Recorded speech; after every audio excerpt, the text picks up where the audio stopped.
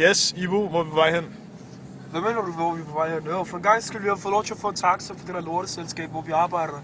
De ringer sådan der, de vil have os til møde ude på TV3. Den der sted, hvor de viser Champions League. Hvor jeg tror det er sådan, der Brian Laudrup og sådan nogle der, man skal snakke med, hvis det er. Jeg ved ikke, mand. Vi skal bare ud og holde ud. Se, hvad der skal ud på TV3, og høre, hvad de har at sige og sådan noget der. Det kunne være rineren. Men jeg ved det ikke, mand. Nico, hvorfor har du lavet den der Twin Peak, der?